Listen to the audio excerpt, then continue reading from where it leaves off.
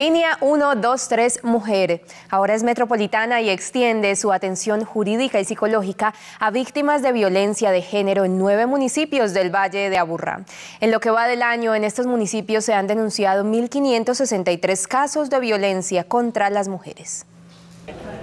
En esta línea telefónica, las mujeres u otras personas que reporten situaciones de violencia de género encontrarán apoyo profesional que quienes atienden la línea 123 Mujer Metropolitana son un grupo de profesionales especializadas conformado por abogadas, psicólogas, profesionales psicosociales eh, que cuentan con toda la experiencia en la atención a emergencias de mujeres y con conocimientos para la aplicación del enfoque de género.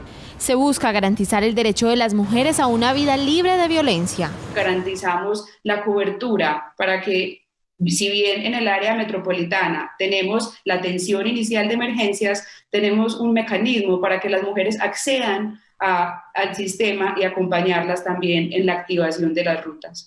En el área metropolitana, durante el primer semestre se han reportado 15 mujeres asesinadas. Para evitar estos hechos, la atención está disponible las 24 horas del día.